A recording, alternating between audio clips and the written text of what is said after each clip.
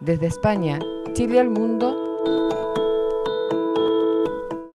¿Qué significa para ti como profesional del área y qué significa para la gente que ha estado también eh, en, esta, en estas ponencias?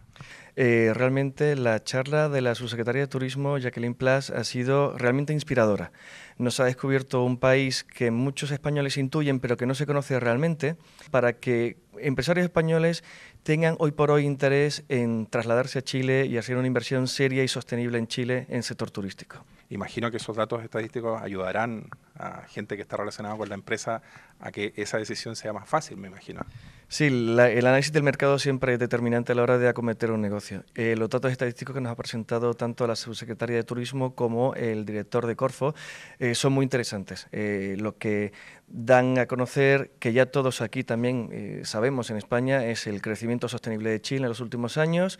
el ser uno de los principales países o los más interesantes, de hecho, en el cono sur para inversión hoy por hoy y en el área de turismo realmente es un país increíblemente apetecible hoy por hoy porque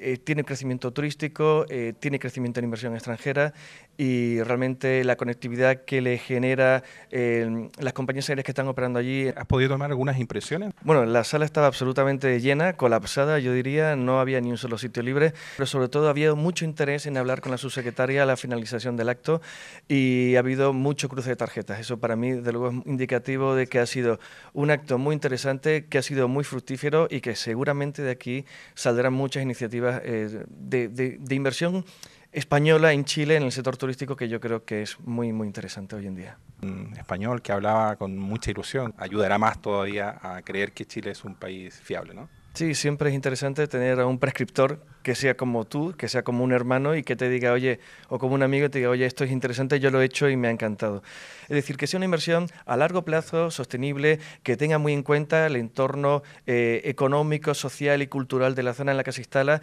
y que desde luego abra puertas de comunicación con España y con el resto de Latinoamérica que nos pudieras hacer la invitación a través de nuestras pantallas, de nuestro programa desde España, Chile al Mundo, porque es el objetivo nuestro de dar a conocer lo que en España ocurre cuando se habla de Chile. Lo que he notado hoy en la sala ha sido una gran ilusión y una gran inspiración en, plantear eh, un país que, aunque creemos que conocemos, no lo conocemos del todo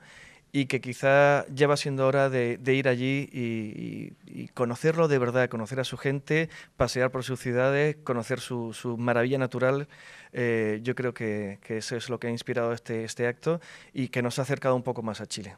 Desde España, Chile al mundo, eh, esperemos que nos veremos más ocasiones y que sigamos construyendo eh, lazos de relaciones entre España y Chile de forma permanente y forma sólida.